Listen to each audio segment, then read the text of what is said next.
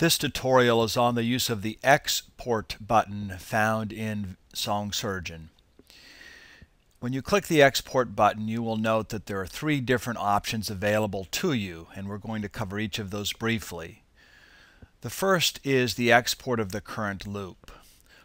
What that means is that a current loop is a loop that you have selected by placing the progress indicator within that loop. So for example, if you click down here on the timeline within this loop area, you will see that the white progress indicator is inserted at that point. That designates this loop as the current loop.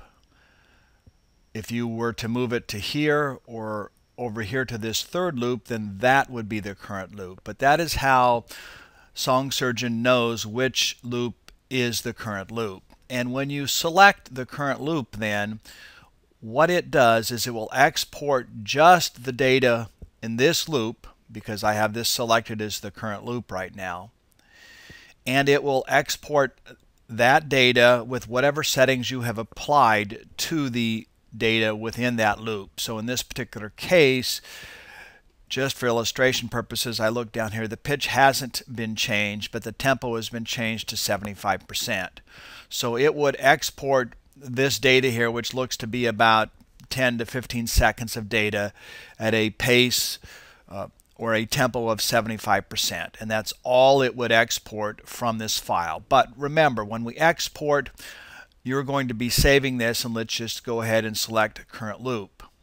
You're going to be saving this as um, some type of an audio file. You're not going to be saving it as a project file. So that means, and in this case I have a WAV file selected, that means that you're going to be exporting it in a way that those files will be permanent. So you can thereafter open it in any video player, move it to an iPod, um, burn it to a CD, and when you play it again, it will play with that change as part of the original file. In other words, in this particular case, 75%.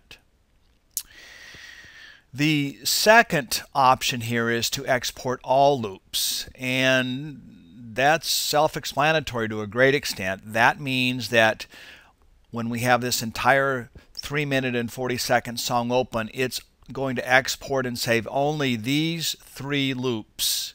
And when it does that, it's essentially going to put these three loops of data back to back. So it's going to basically remove the data to the left and to the right of each of these loops. And you're going to have one loop followed by this loop right on top of it, followed by this loop right on top of it. So it will export and save only those three loops.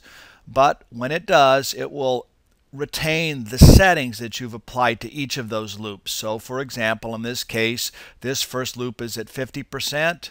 This second loop is at 100%, but the pitch has been changed by four half steps. And again, in this case, this third loop is at 75%. So it will export only these three loops, but it will retain the settings that you've applied to each of the loops. The third option then is to export the entire song. And again, it's fairly self-explanatory, but I need to probably add a couple of details. And that is when you export the entire song, it will do exactly that. It will export everything that you see on your screen.